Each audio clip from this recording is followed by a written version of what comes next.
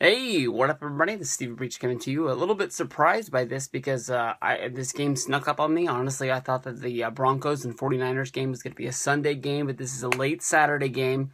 Um, preseason, week number three. This is one of the games where, honestly, um, the teams are going to go out there and play their best for probably about half the game. This is probably the, one of the most influential games there is to seeing who's going to be one of the main players on the team. Um, you know, week four is more about guys, you know, trying to hang on to that last wide receiver spot trying to hang on to that last safety spot. A lot of the like the last few roster spots will be filled, but this is the game where the first team offense, the first team defense are going to be really out there, really gluing together and playing together to see what's going on.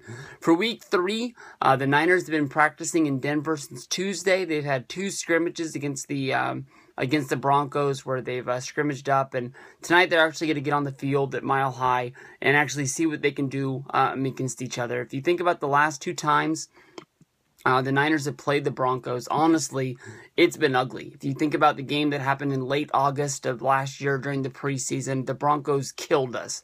Uh, we weren't even in the game uh, at kickoff. It seemed like uh, I can't remember how many they, they put up. They put up 55 or they put whatever, but the Niners could not get anything going, um, no matter what team they were playing against against the Broncos. I think if they would have put in the guys holding the clipboards, the guys that filled the Gatorade, the Niners still weren't able to play that day. But you go to the regular season game that we played in October in Denver. Peyton Manning broke the NFL touchdown record, throwing re- record number 509. Uh, the Broncos put 42 points up the, that day. We we lost 42 to 17.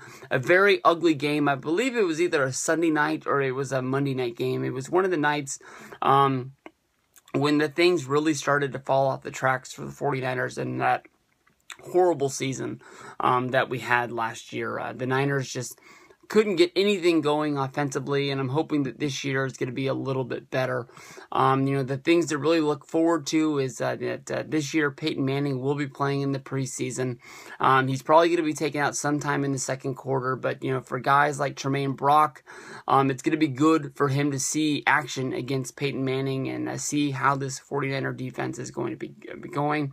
Um, if you think about the defense, um, Bowman uh, was limited to only playing on five snaps last uh, last game. He did receive a, couple of tackles, um, so uh, no word on how much he is going to play. But just having number 53 out there on the field is going to be a big thumbs up for the San Francisco 49ers and seeing what we can be doing to, to move forward. The offensive line is, is a big thing that people are going to be looking at this year, of course, with uh, guys leaving, guys retiring. Uh, Joe Staley has a hard job of getting that team, um, you know, up uh, up to pace and, and, seeing what the offensive line is going to be able able to do to help our running game and help Kaepernick have time to, to hold the ball and be able to, to throw the ball to our receivers. Um, Staley's going to be up there. You know, if you think about the Broncos' defensive line of Von Miller and Demarcus Ware, um, you know, they have um, some stiff competition against them this week. This is going to be one of the weeks to, uh, to really see um, what this offensive line is going to be doing to be able to hold people back. Um, you think about the uh, the wide receivers that are going to be out there for Kaepernick to throw to. Um, we do know that Anquan Boldin and Smith are going to be the number one and number two. Patton, Ellington, and Demarcus White are going to be playing to see who's this uh, the number three. Um, so you know they're probably going to be uh, good to see who Kaepernick is throwing the ball to, who he has the connection with. The last two weeks, even though the Kaepernick's only been able to be out there for a, a short time, I believe he's only played three series in the last two games. Torrey Smith and him have always uh, uh, been close to, to finding a connection um, for a touchdown in these last two games, so maybe they can get that done.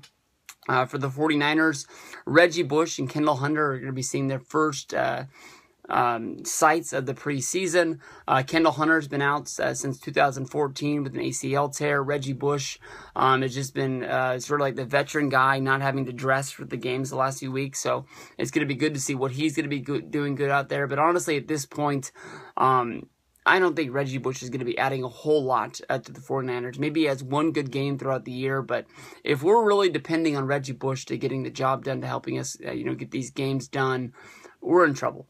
Um, Carlos Hyde is going to be our number one guy. He's probably going to get the ball a little bit, but uh, Jarryd Hayne has been the one guy to really steal all of the attention um, this uh, this offseason. He's leading um, the league in uh, preseason rushing yards at 117. He's returned uh, five kicks for about 108 yards, a 21.6 yard average.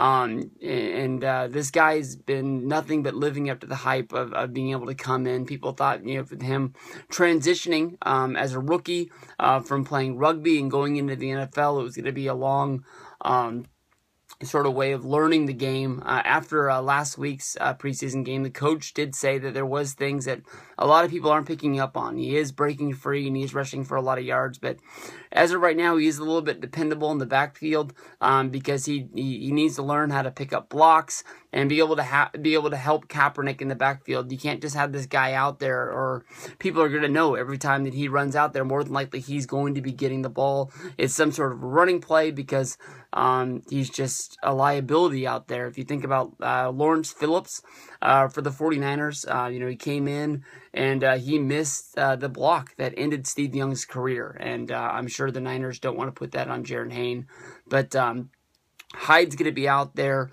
You got Bush, you got Hunter, um, you got Haynes. So maybe Haynes not even going to be seeing a lot of action this game, but uh, it's good to have him on the team. I know it's the one thing that people always ask about. So we'll see what gets the job done this week. You know, we're not looking for a must-see victory. This is preseason, but uh, seen some good things that we can work on. Last week we got the win, uh, but we didn't score any offensive touchdowns. Um, I believe we got one by punt return and one by interception. So um, let's see if we can put some points on the board today.